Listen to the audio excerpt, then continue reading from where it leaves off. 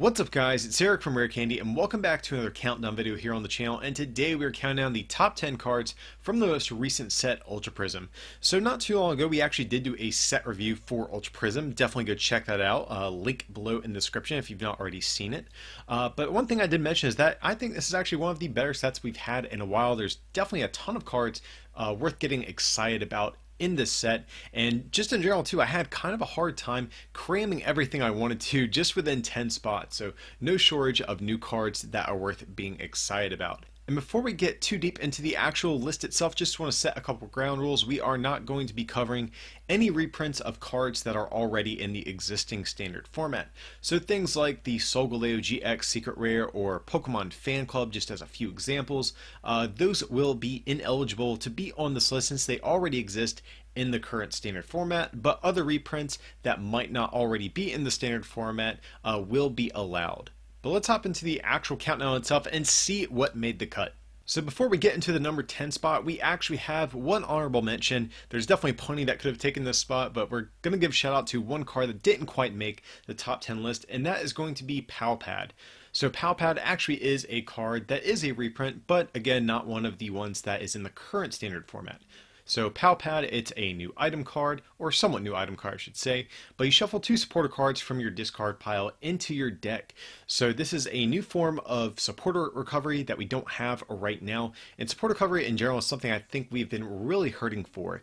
And uh, you know, I think the lack of something like Versus Seeker or Palpad, just as an example, in the current format limits the use of certain supporters. You know, sometimes it's hard to really justify playing like one of tech supporters like your Acerolas or your Team Flare Grunts and stuff like that.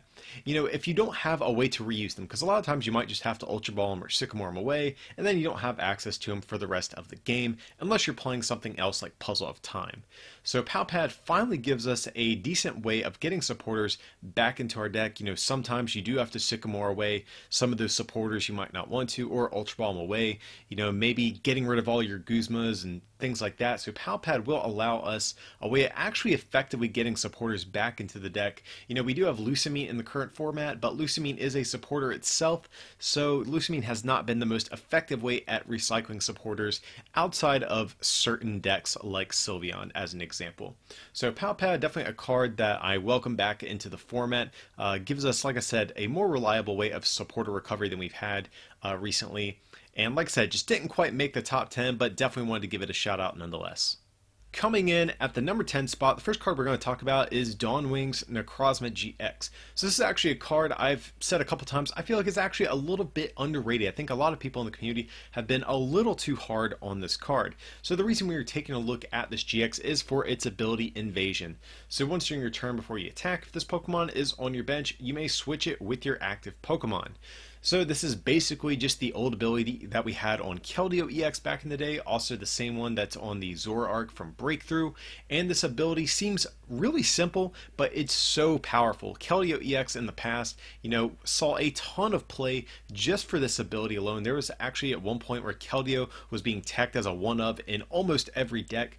Granted, at the time, uh, things like Hypnotoxic Laser were present in the format, but this ability just in general is so powerful, especially since we also have Floatstone in the current format.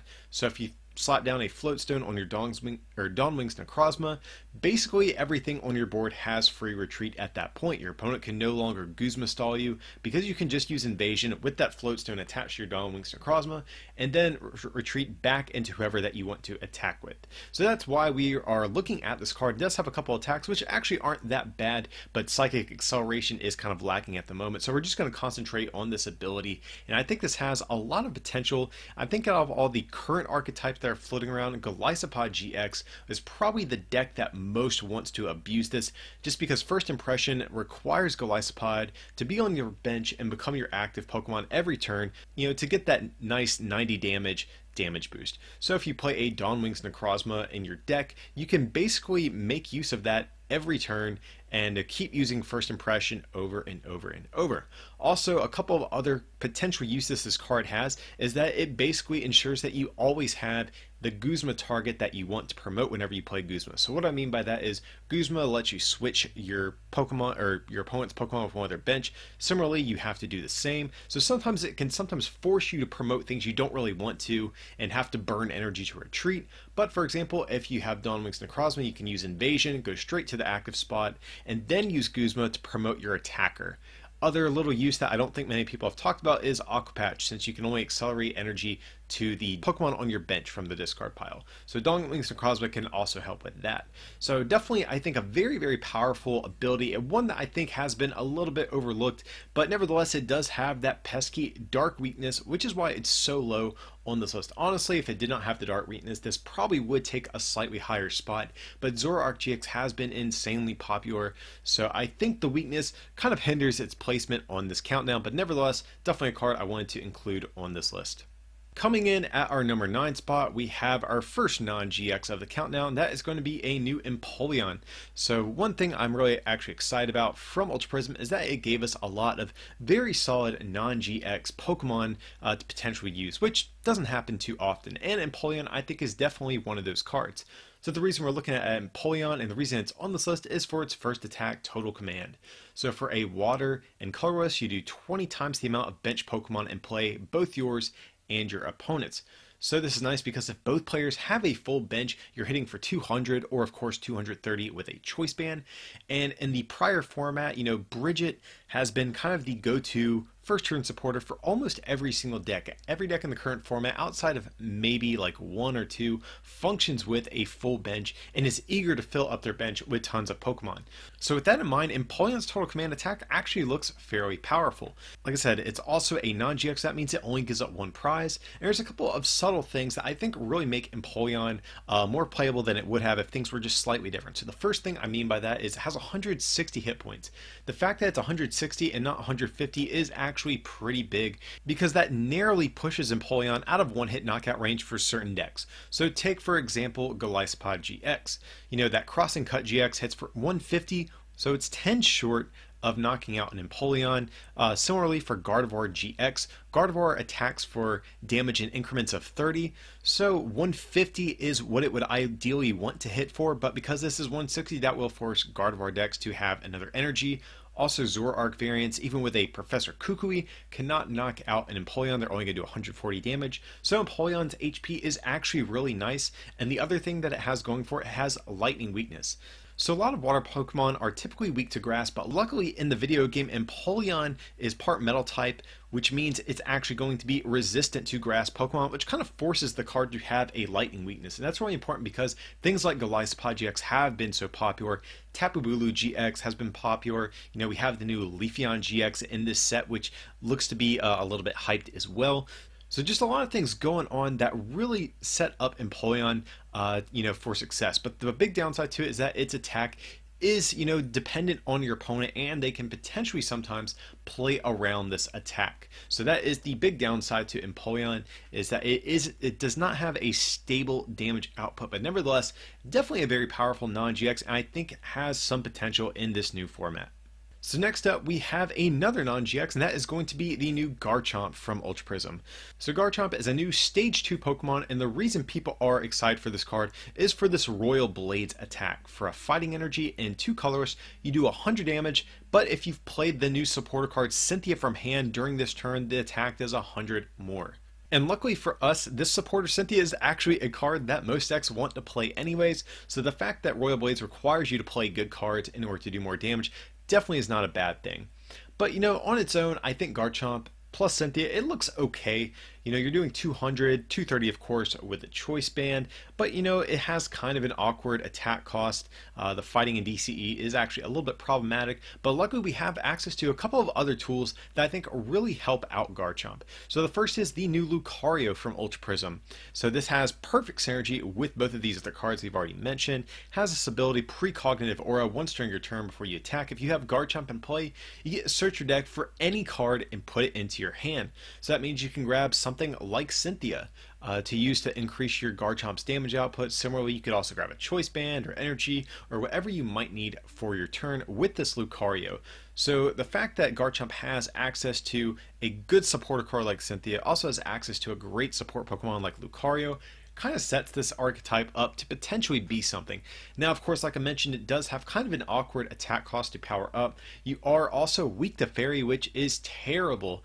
But there are a couple of other things going on for Garchomp. There is a fighting one back from Breakpoint that you can use to power up your Pokemon has this attack Turbo Assault that lets you accelerate energy out of your discard pile.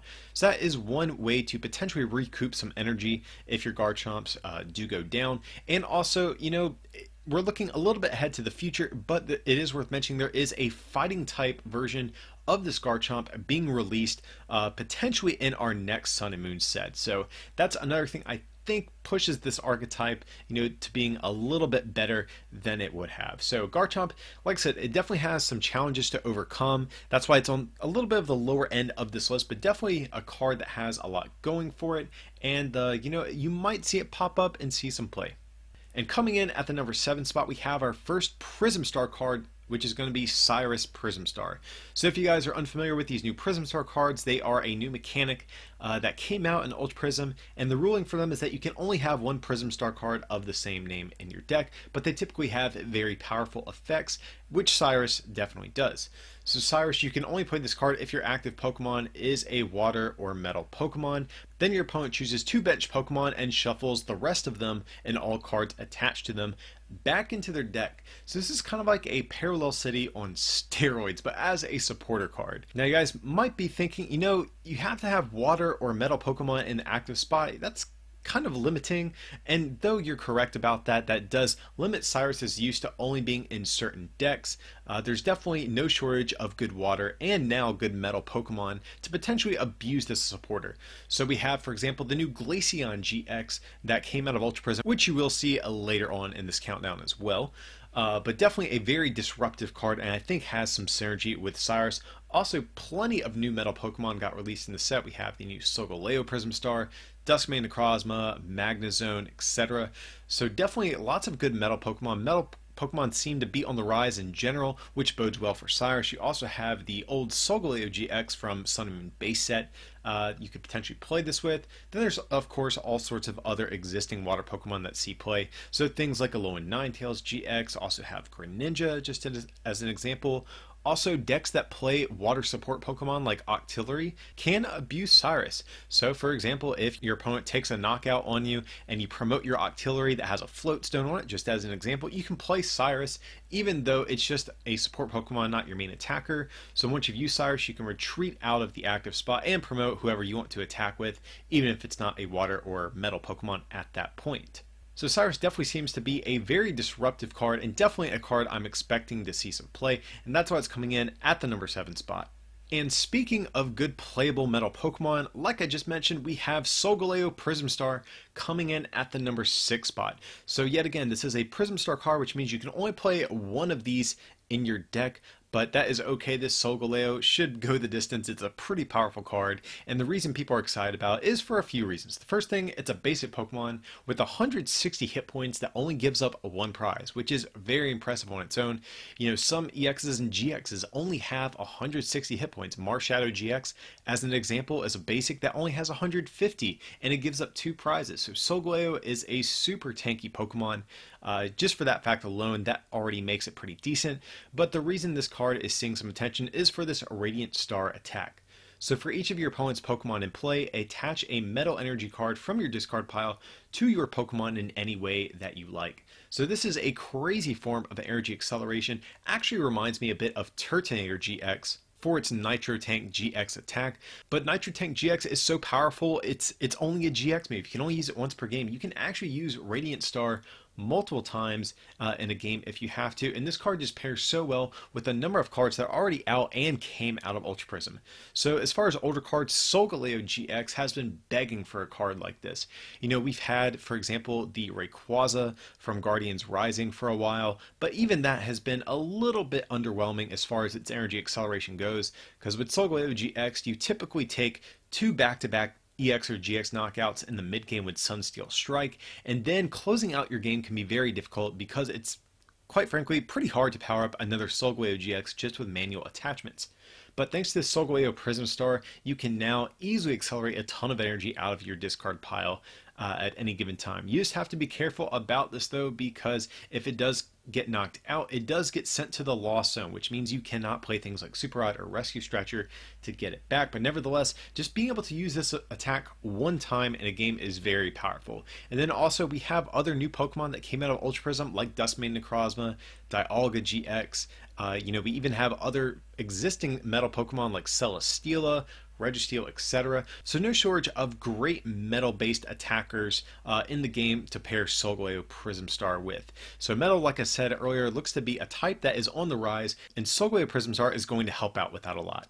And here we have yet another metal Pokemon. We have Magnezone. This is definitely one of the other new big forms of metal energy acceleration. It's a new stage 2 Pokemon, actually very similar to the existing Magnezone that we have in format back from Breakthrough, but now you get to accelerate metal energy instead of lightning energies. So it has this ability, Magnetic Circuit. As often as you like during your turn before you attack me, attach a metal energy card from your hand to one of your Pokemon. So this is great because we've seen things in the past like Emboar back from Black and White, Blastoise from Boundaries Cross, even Blastoise all the way back from base set had an ability very similar to this. So these abilities have historically been very playable, and now that Magnezone is around and we have all this metal support like the new Mount Coronet and all of the great new metal attackers like Duskmane Necrozma, uh, the Solgaleo Prism Star, Dialga, GX, etc. There's definitely a lot going on for this card to potentially see play. Now, of course, we don't have access to things like Tropical Beach in the current format or effective ways to really get Magnezone out and set up super quickly. It also only has a two retreat cost and not a three retreat cost, which means we can't play like a heavy ball type of engine uh, similar to Tapu Bulu or uh, GX decks in the past. But nevertheless, this ability is very, very powerful. And like I said, historically, these abilities have been good in the past, so I would expect no different from Magnezone as well. And up next, we have yet another metal Pokemon we've mentioned a few times. We have Duskmane Necrozma coming in at the number 4 spot. So Duskmane Necrozma is a new GX from Ultra Prism, has a whopping 190 hit point, so very tanky Pokemon just right off the bat. And the reason this card has been seeing attention is for its attack Meteor Tempest. For 3 Metal Energy and a Colorless, you do 220 and you discard 3 energy from this Pokemon.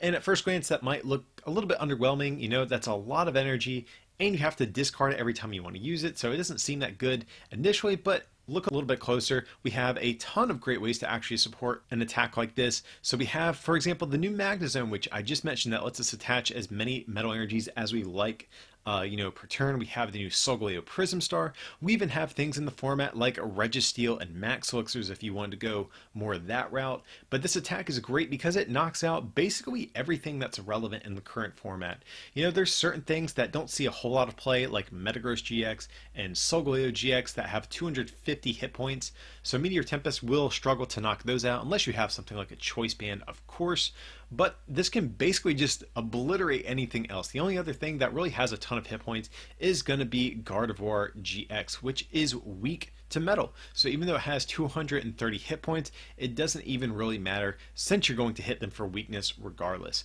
So this attack is incredible. You're just going to blow anything away that gets in your path. But also its GX move is also pretty powerful as well. So it has Sun's Eclipse GX. For just 3 metal energy, you do 250, but you can only use this attack if you have more prize cards remaining than your opponent.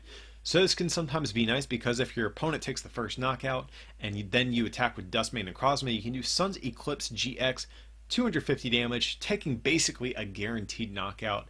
And then you don't have to discard your energy for this attack. And next turn, you can attach a single metal energy and then use Meteor Tempest to take another knockout, ideally, of course, on a Pokemon GX or EX to get yourself two prizes. So Duskmane Necrozma is just a huge, tanky uh, beat stick that's going to blow away anything that gets in its path. So that's why it is so high up on this list. Alrighty guys, so we're starting to wind down on this countdown. So coming in at the number 3 spot, we have Leafeon GX, which is actually probably one of my favorite cards that came out of this set, as you can probably guess from it being so high on this list. But just in general, I've really enjoyed this card. I really enjoyed the playstyle of it.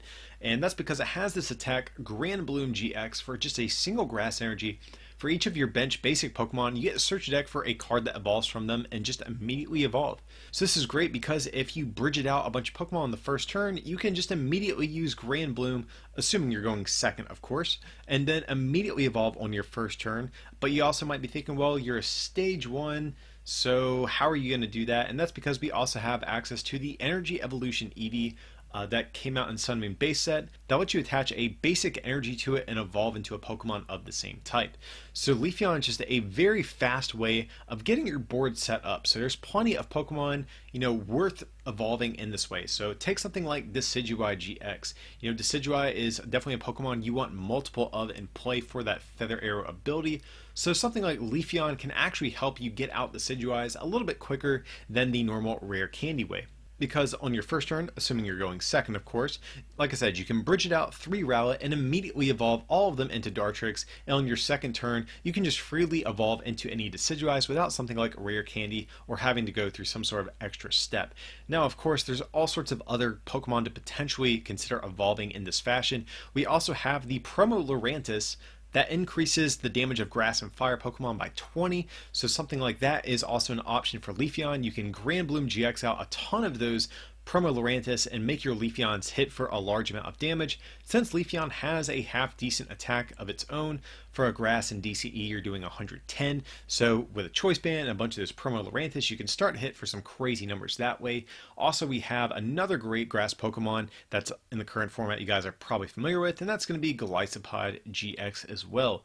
So there's all sorts of Pokemon worth evolving, and one thing that's nice about Grand Bloom is that you're not even limited to just grass Pokemon. You can even evolve things like Zoruas into Zoroark GXs, which is actually a pretty important thing to be able to do.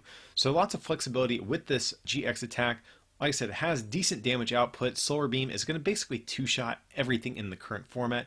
Most things have around 210 uh, hit points right now at the time of filming. So definitely a half decent attack uh, since you can power it up with just two energy attachments. And Leafeon GX also has a pretty solid ability as well.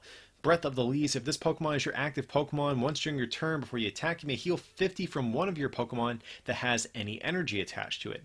So this gives your own Leafeons a little bit of tanking potential, but also if you have a Float Stone on your Leafeon, this gives you a great Guzma target to promote anytime you play Guzma, because you can force your Leafeon active, heal from maybe a different attacker, then retreat back into them and keep on putting on some pressure that way. So I think every aspect of Leafeon is just really solid. Solar Beam is an okay attack. That's probably the weakest aspect of this card. But like I said, even still, that attack can comfortably two-shot most of the things that are in the current format. So Leafeon, I just absolutely love this card. I'm actually probably a little biased because of how much I just enjoy the playstyle of this card, but definitely a card I wanted to include on this list, and that is why it's coming in at the number three spot. So next up we have debatably the most hyped GX to come out of this set, and that is going to be another new evolution. That is going to be Glaceon GX. So similarly to Leafeon, has 200 hit points, 2 retreat cost, and is a pretty good card. but let's look at the specifics. So it has this ability Freezing Gaze. This is really why people are so excited. As long as this Pokemon is your active Pokemon, your opponent's Pokemon EX and GX in their hand discard have no abilities except for Freezing Gaze. So this is insanely powerful partially because of that energy evolution Eevee that we have in the format. So on the first turn, if you attach a water energy and you evolve straight into Glaceon, well guess what? Your opponent suddenly can't Ultra Ball for Tapu Lele to, you know, get out that first turn Brigette or something like that. And if you look at the current format going into Ultra Prism, you know, that's kind of the ideal first turn play from every deck. Almost every deck goes for Ultra Ball, Tapu Lele GX, Brigette, and they start setting up their board that way. And Freezing Gaze kind of takes that away from your opponent. You know, I mean, there's plenty of other great abilities worth shutting off, but that is such a powerful thing. Limiting your opponent's stuff, maybe forcing your opponent to play more physical copies of supporters. You know, they can sometimes have a dead hand and might not be able to draw any cards without the help of something like a Tapu Lele. So Freezing Gaze definitely very good for that. But also look at the other popular abilities we have in the current format. We have something like Trade on Zoroark GX, which has seemingly been in almost every deck as of recently. Uh, definitely an amazingly powerful ability worth shutting off. Other things like Lycanroc's Bloodthirsty Eyes have been floating around as well. So definitely no shortage of good abilities to shut off. But you know, Glaceon has a great ability, but it, it needs more than that if it needs to be a really great card. And luckily it has some solid attacks as well.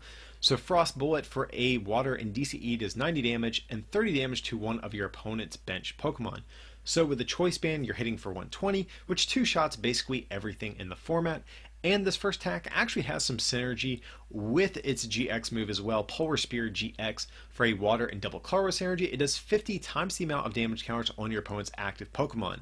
So what this means is, you know, if you hit your opponent with a frost bullet and they try to retreat into something else, let's say just another 200, 210 hit point stage 1 GX, which seem to be some of the most popular uh, recently, well guess what, they've already taken 30 damage, which means they have around 180 hit points left, and now Polar Spear GX is going to hit for 150. So that means with a choice band, you can basically just wipe out a Pokemon that only has 30 hit points on them, which is pretty powerful. So the fact that Glaceon has some solid attacks to pair with this amazing ability is really what makes this card so, so good. There's all sorts of partners you potentially put it with. Zoroark GX looks to be the main one. Also, there's been talk of Alolan Ninetales GX. There's, you know, like a quad Glaceon variant that focuses on things like energy denial and milling your opponent and just heavily disrupting them in that fashion. I've also seen people mention things like Lapras and weird stuff like that. So Glaceon definitely looks to be a card that's on a lot of people's radars and looks to have a pretty big impact uh, on this new Ultra Prism format in the early days. And so before we get to the number one spot, guys, we're just going to do a quick recap. Coming at number 10, we had Dawnwings Necrozma GX. At number 9, we had Empoleon. At 8, we had Garchomp. At 7, we had the new Cyrus Prism Star. At 6, we had the new Solgaleo Prism Star. At 5, we had Magnezone. At 4, we had Duskmane Necrozma GX. At 3, we had Leafeon GX. And at 2, we had Glaceon GX. So that leaves one card remaining. You guys can probably already guess what it is, and that is going to be Cynthia. So Cynthia is like by far and away my favorite card to come out of this set. If you've been watching this channel for some time, every time we do a set review and you know Pokemon prints some sort of like kind of mediocre shuffle draw supporter, you always hear me complain just quit with like Pokemon just needs to quit dancing around it and just reprint Professor Oak's new theory, that old supporter that had shuffle your hand into your deck and draw six. You know, they've tried things like Shauna, we've had things like Wick, uh, even Ace Trainer, and just nothing really sticks. And they finally caved in and gave this card to us, which this format has been needing for some time. So Cynthia, like I said, it is going to be a reprint of that old card, Professor Oak's New Theory. Same effect, just with a different name. Shuffle your hand into your deck and draw six. And you might be thinking, well, we've had Shauna, that didn't really see much play, and it's only one card difference. Is that really that big of a deal? And I would say yes and especially as the game has been shifting more and more into an evolution based type of format and game over the past several Sun and Moon sets, the need for a card like this has just been growing more and more and more. So, take for example Professor Sycamore, an extremely good form of draw power. Discard your hand, draw seven. You know, it's very, very good. But in evolution decks, there's typically a bunch of evolution pieces. You have things like rare candies in your deck. So a lot of times you can't play down your hand uh, before you use Professor Sycamore, and you have to end up discarding resources that you really want to hold on to. And so the only other option that we had is to play N, which we have been. We've been maxing out our counts of N and, and Sycamore since there haven't been any other good draw supporters. But now that we finally have Cynthia, Evolution decks I think really have another great form of draw power that doesn't make them discard their resources, which is actually a pretty big deal, especially in this type of format where we don't have something like Versus Seeker to reuse our supporters, or something like Junk Arm to fish out rare candies out of the discard pile. You know, Cynthia is just a great, great card for evolution decks and just even non-evolution decks. It's nice sometimes, you know, you might not want to discard your hand, but at the same time your opponent might not have played many cards on their last turn and you don't want to play an N. And Cynthia is a great card for all these types of situations. So Cynthia, it's a really straightforward card, but definitely one of the most powerful cards to come out of Ultra Prism. Like I said, you know, I think it's good enough to take the number one spot, even above all these exciting new GXs like Duskmane Necrozma and Glaceon, and even some of these new Prism Star cards. Just shuffle your hand and draw six. It seems simple, but this card is absolutely amazing. It was actually easily my number one pick. I actually started this list out with writing down Cynthia at number one and trying to figure out everything else that would take the 10 through 2 spots on this list. So that tells you how strong I think this card actually is, and that's the reason why it is taking the top spot on this list. But yeah, guys, that's going to be it for this countdown video. What do you think? Let me know below in the comments section. What are your favorite cards from Ultra Prism? Do you think I missed anything? Do you think I placed anything too high on this list? Definitely sound off below and let me know what you think. But as usual, guys, feel free to like and subscribe. And if you can support this channel by picking up something from our online store at rarecandytcg.com or by becoming a patron over at patreon.com slash rarecandytcg, it would mean a lot. But with that, I appreciate you watching and we'll see you for the next one.